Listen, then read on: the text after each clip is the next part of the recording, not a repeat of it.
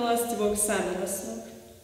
Prenosi se od Abdullaha ibn Amra ibn El-Asa radijallahu anhu da je jednom zaklao ovcu pa je nakon toga tri puta upitao da li ste što odnijeli našem komši židovu?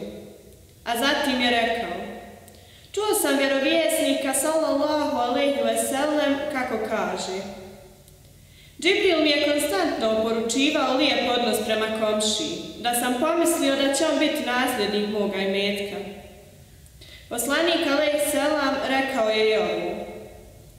Nije ispravnog vjerovanja čovjek sve dok komšija ne bude siguran da mu neće nanijeti nikakve štete. Ova dva hadisa odlično ukazuju na stav islama prema komšiji. Iako njima ne treba nikakvo dalje tumačenje, ipak ćemo nabrojati nekoliko posebnih dužnosti prema komšijama koje mora da ispunjava svaki musliman. Pravi musliman ne smije zaspati ako zna da je njegov komšija gladan. Mora strogo pasti da ne uvrijedi ili napadne komšiju. Treba da ga čašćava i dariva onime što ima. Ne smije kvarti zidove kuće, niti bacati komšino dvorište. Treba da se pazi na djecu svoga komšije.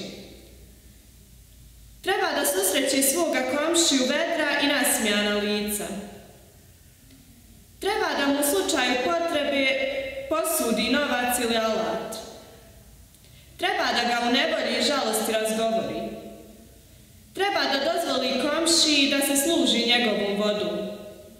Treba da postupa komšiji onako kako bi želio da se prema njemu samome postupa. I treba da ode komšiji na dženazu.